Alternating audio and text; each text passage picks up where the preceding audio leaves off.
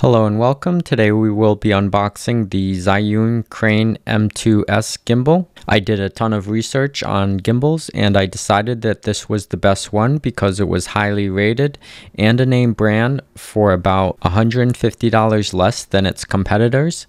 The M2S will support small full frame cameras like the Canon R8 but I will be using this on my Canon R50, which is an APS-C sensor. And if you like this gimbal, my link will be in the description. If you would like to help support the channel, please use that to make your purchase. Alright, so this is the front of the package, and this is the bottom of the package. This is the right side of the package. This is the top of the package. This is the left side of the package. And this is the back of the package. I have not opened it yet. So there's shrink wrap all around the sides. There's also even a security seal at the top. I'm going to take my knife and I'm going to make a small incision on the top of the box. Okay, let's take off that saran wrap.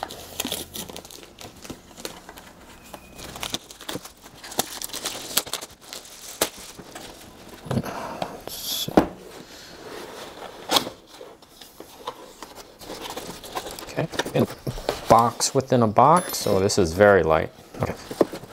So nothing. Oh, there is something left in the box. What is this? A service card. Servicing locations. We'll put that to the side.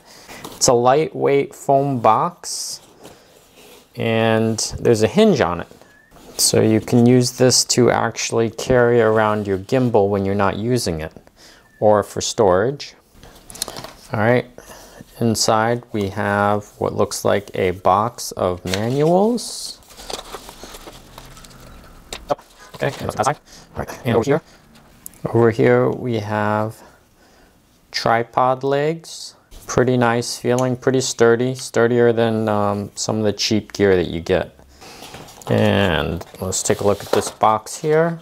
This appears to be a box for USB-C to micro USB. And then what else do we have in the box? Okay, we have, these look like color filters for the light on the gimbal. We can put all our stuff over here and you can see it as we're unboxing. And there is something else in the box. There is another USB-C to USB-C cable and a USB-C to USB-A cable. So we got three cables, some light filters, and a tripod so far. Over here on the left, the quick release plate to mount your mirrorless camera on or even a full-size camera. And some uh, little screw knobby I'm actually going to put that back in the case because I don't want to lose that. I don't know what it's for. And here is the star of the show, the Zhiyun Crane M2S. Little quarter inch screw hole for some gimbal accessories and a light button. And there's a dial on the front, a record button, a mode button. On the side is a menu and on off switch.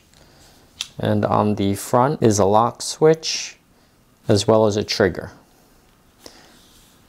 And the USB-C slot to charge it. On the bottom is the quarter inch thread hole for the mounting of the tripod stand legs. And then there is a lock on the arm. Oh, and there's a USB-C hole here, the quick release button for the quick release plate, which slides into there.